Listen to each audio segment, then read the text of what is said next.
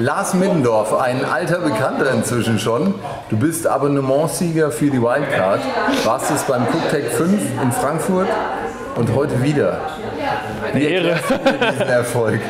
Oh, weiß ich auch nicht ganz genau. Ich denke mal, vielleicht meine, ist meine Küche ein bisschen anders als die anderen Gerichte, die eingesendet werden. Sehr natürliche Aromen, viel Natur mit einbezogen. Wirklich diesmal andere Zutaten gehabt mit dem Gerstenkaffee, dem Emmerbier, den Kutteln. Ja.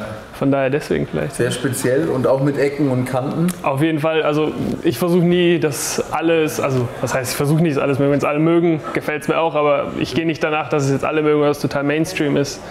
Es kann, wie gesagt, heute Kutteln sein und das muss nicht jeder mögen, meiner Meinung nach. Das ist dann für solche Sachen hier ist es okay. Im Restaurant muss man es anders machen, glaube ich, aber Ja. für solche Sachen hier ist es interessant. Gibt es dafür noch eine Klientel für solche Gerichte? für Kutteln, Ja, da am Bodensee, wo ich arbeite, auf jeden Fall. Ja. auf jeden Wir haben es auf der Karte und es geht auch. okay. Also es ist ein region- regionales Thema. Stuttgart funktioniert das sicherlich am Ich denke ja, dass es sehr regional ist und wenn man mit aufgewachsen ist, manche Leute, dann mögen sie schon, wollen schon gerne essen. Wieso wie Herr Wilges heute zum Beispiel.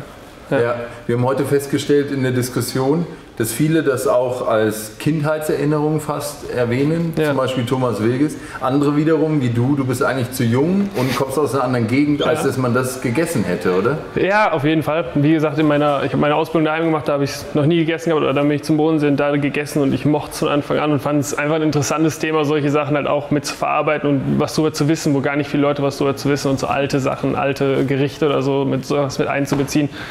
Wie auch dann den Gerstenkaffee Muckefuck von früher und ja. Muckefuck war was nochmal? Ja, Gerstenkaffee haben halt die Leute im Krieg getrunken, weil sie halt keinen richtigen Kaffee und dieser war lagerbar und War das der, der Markenname oder was? Na, Muckefuck war, glaube ich, dieser Spitzname dann dafür für so einen Okay. Kaffee. Gerstenkaffee oder Lupinienkaffee oder früher, ja. Sind wir vielleicht auch zu jung für. Ja, ich kann dann gerne was beibringen. Lars, dir noch einen tollen Abend. Morgen Danke. Pilze sammeln vielleicht nach so viel Regen. Ja, wenn es jetzt regnet, könnte es langsam wieder was werden, ja. Hoffen wir. Danke dir ganz herzlich für das tolle Gericht. Danke fürs hier Mach sein. bitte weiter so. Nimm Fall. väterlichen Rat an. Jawohl. Danke. Danke. Super.